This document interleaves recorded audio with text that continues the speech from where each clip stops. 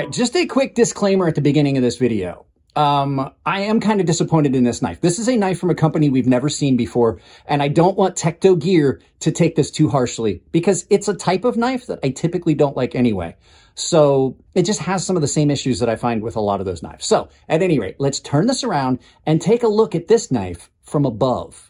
All right, guys, this is a knife from a company I've never seen on the channel before, and I don't think I've even heard of them. This is the Tekto Gear A4 Humvee, and it is an OTF switchblade. Please don't argue with me on that terminology, switchblade. If it comes out like that, that's a switchblade. Um, this is a unique knife, and here's the cool thing about it. This knife I thought was just going to be another one that you guys gave me a bunch of crap about being a Chinese made knife. This is made in Portland, Maine. It's made from US and imported parts. So Tekto is a company I really haven't heard of. So let's get this box out of the way and talk about the knife. So Jared sent this to me and I'm not, I'm not going to be super critical. Uh, it mainly you guys are going to be like, what would you be super critical about? I don't like OTFs really to speak of. A lot of times I find them to be impractical. They're usually not the best choice. They're going to have some issues. This is a big, beefy one with a central button as opposed to a lot of the OTFs like the Ultratech that you're going to see eh, a little bit later for comparison. Um, they're on the side here. There are a few of the Microtechs have them in the middle. Benchmade has uh, their infidels that have them in the middle, which I find to be a really good spot for the button because you don't have to change position for how you're going to use it. You know, that these knives have a distinct specific purpose.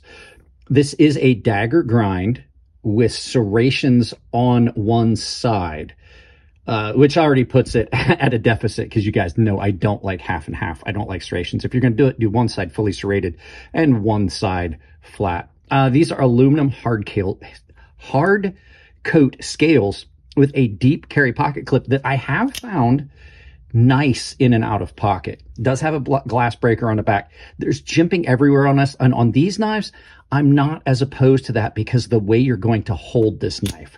You're going to hold this knife like this. You're going to hold it like this. You want jimping, especially on fairly smooth anodized contoured aluminum handles. It's going to give you a little bit better grip. Uh, these were designed to be tactical knives. I really don't find them to be tactical.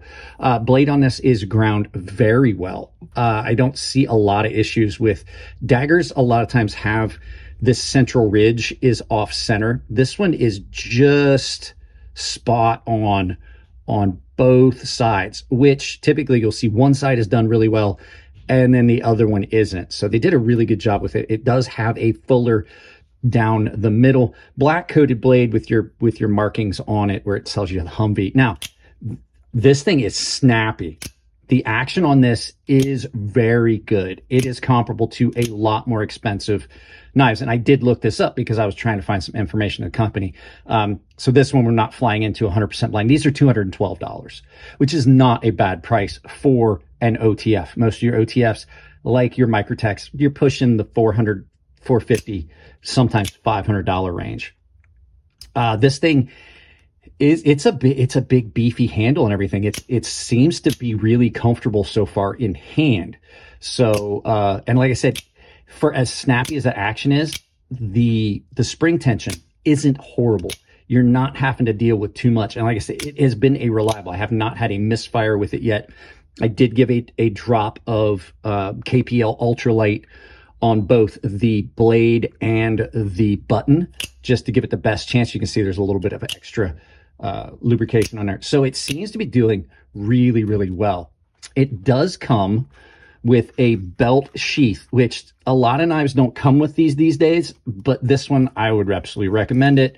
And I'll tell you why, because now that we've done a good look at this, um, oh, well, I wanted to mention it, it's, it's moderately sharp. I'm, I'm going to go ahead and say that we'll save that for the other side of the review. But uh, yeah, it seems to be pretty well built so far this first day. But there's a laundry list of things that I don't like about this and that I find problematic with this. And a lot of times they're just across the board with OTFs. So you guys go ahead, watch a quick ad from this video sponsor, and I will bring you back and we'll talk about the negatives. Guys, did you know that Coffee Brand Coffee has more than just awesome on-demand roasted coffees and flavored coffees. They also have tea, cocoa, cold brew bags, decaf, and they have premium candies that will make your family go nuts. So check them out with the link down below to save 10% on some of the best coffee you're going to find. Yeah, guys, make sure you go check out Coffee Brand Coffee. They're a big sponsor for the channel. Okay. So negative things on this. This is heavy. This is heavy and it's big and bulky. And the problem I see with it being so big and bulky is you don't necessarily need big and bulky. It is not significantly larger blade wise. You don't have that much more blade than what I have in a much more reasonably sized Microtech Ultratech. This is a full size Ultratech Tonto. Um, action is comparable. This is so much lighter and so much smaller in pocket than this.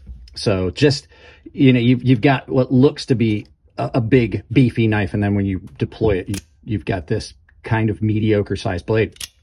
Blade. The blade's not sharp. This thing is not sharp. Uh, I, it does not look like it's had any cutting done on it. So I'm going to go ahead and say that this is the way it came from the factory. You can see the edge is just completely missing all the way up here. And I would imagine that's something that's happening inside. So their, their clearance has not been dialed in on this. Uh, so you can see that basically what I'm seeing is that this is dragging on its way down through the handle all the way down. You can see that edge is just missing and then there at the tip it is. The serrations, absolutely worthless. They're not very good serrations. And then you have the same issue with the edge here that you had on the other one where it's just, it's not very sharp. Here it's kind of sharp, but you can see not sharp. It's not real comfortable in pocket because it is kind of bulky and it sits really deep. And then that leads you to the next thing. I don't like glass breakers, even though I like this knife a lot. I don't like the glass breaker on it. They are sharp, they are uncomfortable, and they're going to dig into your side. And I'm going to tell you right now, just my hand, I don't like it. Like every time I've reached for this knife, that has poked me. If this was my knife, I would immediately take this out to the grinder and put this on my, my knife grinder and I would knock that thing completely round it over, flatten it off, marry it up with this and just get rid of it. Glass breakers, for the most part, are worthless, which is why I would say definitely you're going to want to use this so that you can carry this without cutting yourself because then you can put this in your pocket like th- you could put it like this so that you're not like jamming your hand into that glass breaker which is uh, not even trying to exaggerate guys. It's incredibly sharp.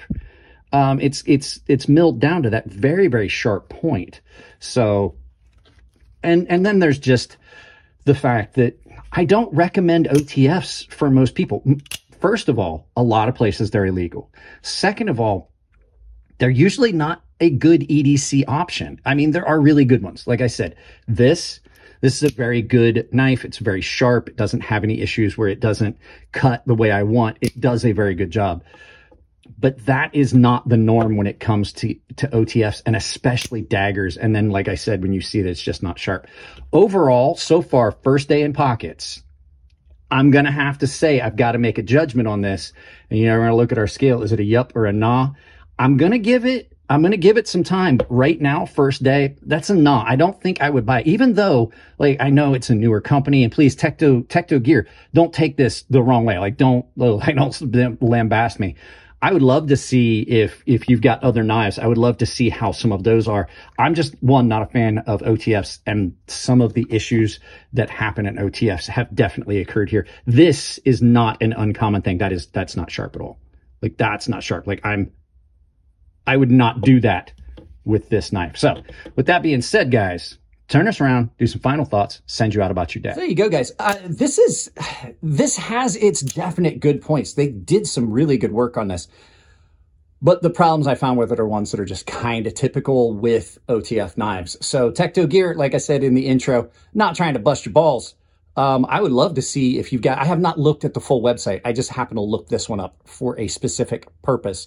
So um, I would absolutely love to see more of the stuff if Jared sends more, because this came from Jared over at Neeves Knives. So basically, that's it on this one. We'll give it, I'm going to give it the full, I'm going to give it the full chance. I'm probably going to sharpen it and, and, see how it fares and stuff like that. So Uh, with that being said, you guys know there was an ad, so I've got sponsors. Check out sponsors. Primarily Coffee Brand Coffee. They have been awesome to deal with. Their coffee's amazing. No politics. No, and they have a money back guarantee.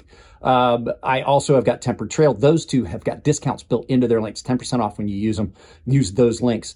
Uh, I also have got a coupon code that will save you 10% at Fair Forge Knife Works, 10% at Rosecraft Blades, 10% at Katsu Knives, and 40% at Beyond EDC Knives. There's links to most of the major vendors down below. If you're going to buy knives, please use those. I've got some new ones. The, the QSP one is now working. I fixed that link. Uh, so if you're going to use it, I actually get credit for it. Uh, I also have an Amazon store. You can take that link, pin it to your browser, use it for all the Amazon shopping you're going to do. I've got a membership down below. You join the membership and you get in on exclusive content, uh, premium sharpening tutorial series, uh, the uh, giveaways that I do, and a private Discord. Plus, there is a public Discord down below in the description. It says join the Discord. Join that. You can hang out and you can ask me questions directly via DM if you want to. Guys, that's it on this one. I love you. I'll keep it clean in the comment section. If it's your birthday, happy birthday, and I'll see you in the next video.